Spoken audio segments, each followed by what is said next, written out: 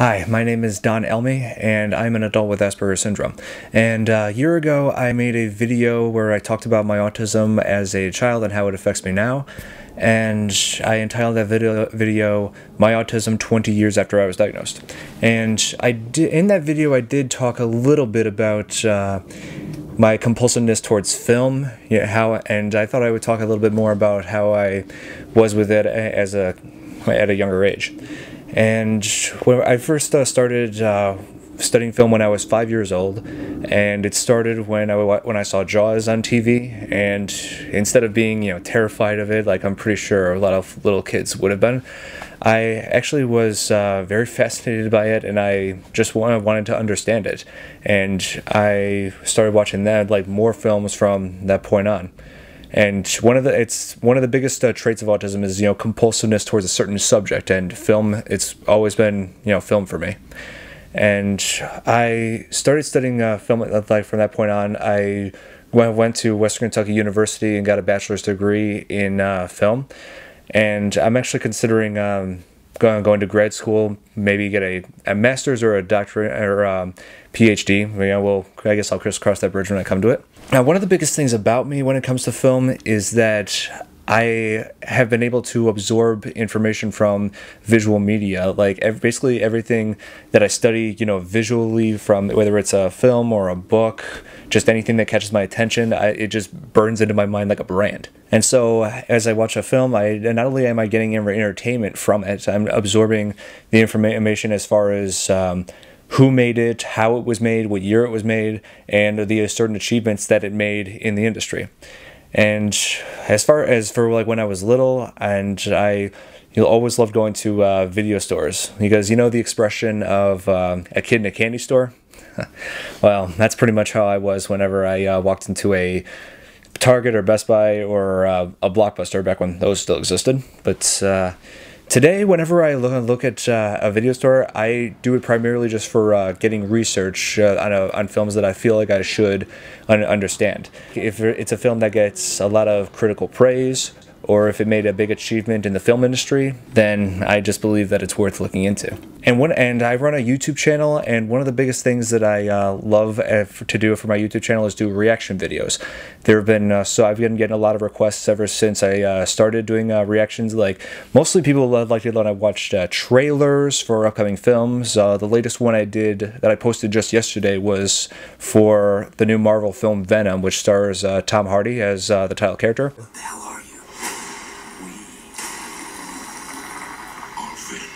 Oh man! As I've been doing these reaction videos, it's really been broadening my horizons. You know, getting me into uh, all kinds of new things.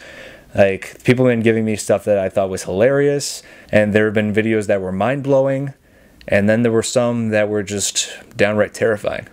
Oh my god!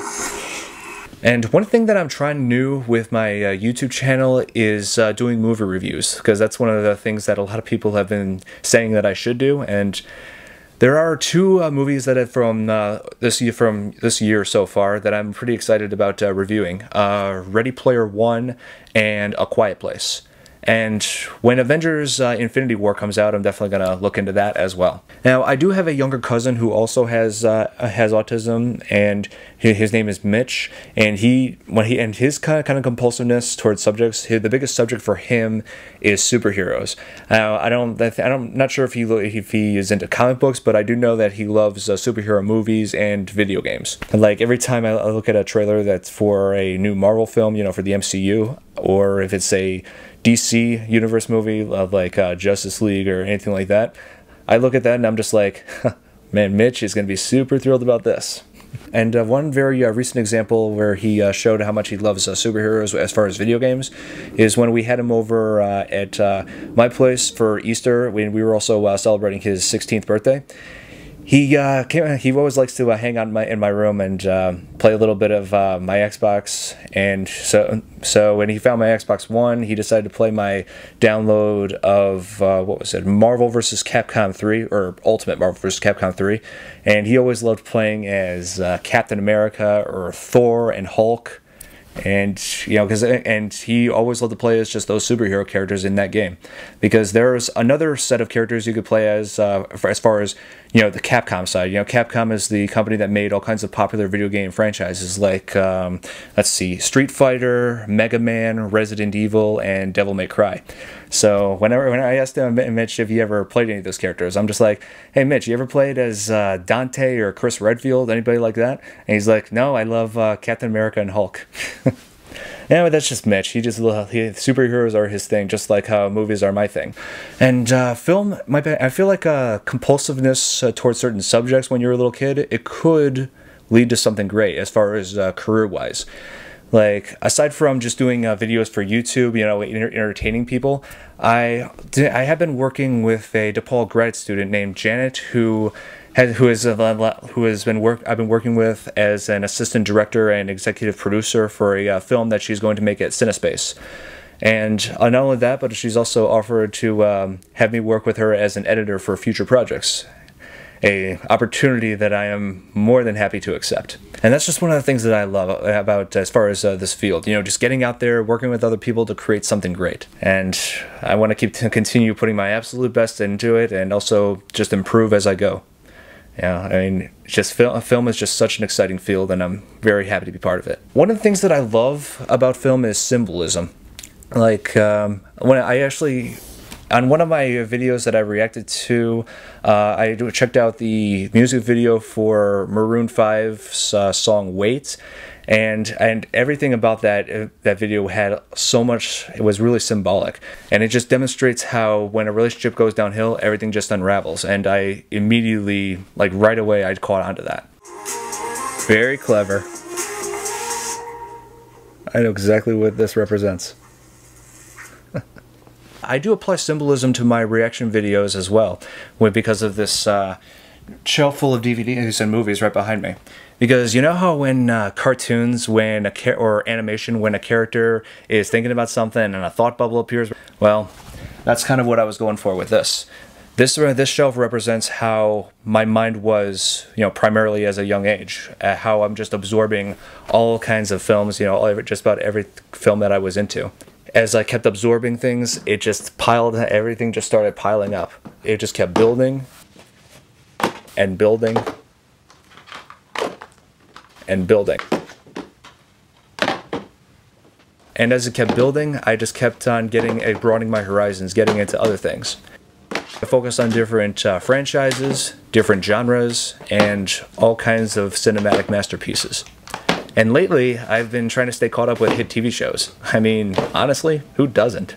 Ever since I became self aware and I just discover that I had the ability to absorb information from not just film, but from multiple forms of visual media. Like, uh, I was just thinking, you know, what better way to put something like that to use than to try and try to learn all kinds of new skills and new um, uh, new hobbies, new interests. Yeah, and today, as an, it's more easier than ever thanks to modern technology. You know how you can just you can just access anything from from the internet, all kinds of um, news sources of information. That's basically what this is to me it's a source of endless information right there in my hand.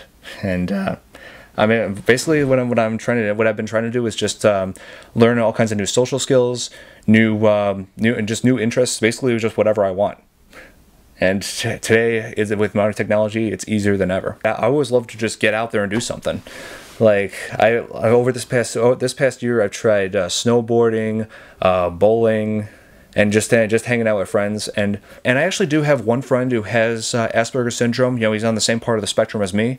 My friend Nick, who has been working with me uh, lately, we've been working together as uh, business partners. Nick has also been uh, wanting to work with me on reviews. We're definitely thinking about reviewing it, the 2017 version. That's how I was, that's how I always am with when it comes to a film project. I'm just like, all right, Nick, let's get this done, man. Just you, you and me, bro. You and me. And so I say to all the parents who have children with autism, the subjects that they can be interested in, they can lead to a path to something great. I mean, look at me. I studied film for all my life, and I have been able to find work as a assistant director and executive producer, and I will have future work coming to me.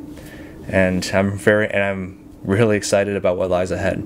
Just can't wait to keep working with this field and and just keep improving my skills from it if you if your children are enga- are engaging in a field that, that can prove to be you know a, a great path to something, let them pursue it.